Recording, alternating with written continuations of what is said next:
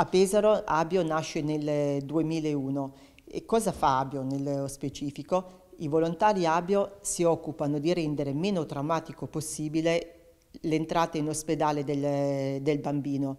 e anche dei genitori, perché quando il bambino sta male i genitori stanno male come lui e più di lui. Quindi noi volontari accogliamo il bambino in ospedale, nella ludoteca, lo facciamo giocare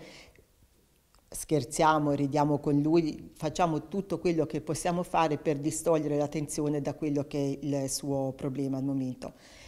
Aiutiamo i medici nella cura del bambino, i medici per quanto riguarda la parte scientifica, somministrando medicine, curano il corpo, noi affianchiamo, bambini, affianchiamo i medici curando lo spirito e la parte emotiva dei bambini. Per conoscere il mondo Abio ancora meglio e per vedere quello che facciamo, vi invitiamo a partecipare all'Abio Show che si terrà giovedì 22 febbraio presso l'auditorium di Palazzo Montagna Antaldi, dove verranno presentati i nuovi corsi di formazione per diventare volontario Abio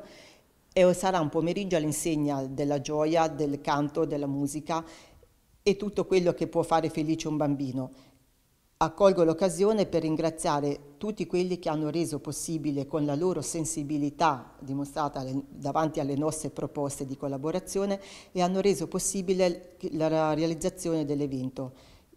Per quanto riguarda Palazzo Montagna Antaldi, il presidente della fondazione, della fondazione Cassa di Risparmio di Pesaro, che ci ha concesso la disponibilità del palazzo, Intercontact per quanto riguarda la parte organizzativa il coro del Grillo d'Oro diretto dal maestro Gabriele Foschi, Fabrizio Minuz che farà da coordinatore dell'evento, lo studio Acanto che si è occupato della realizzazione della locandina con cui viene pubblicizzato l'evento.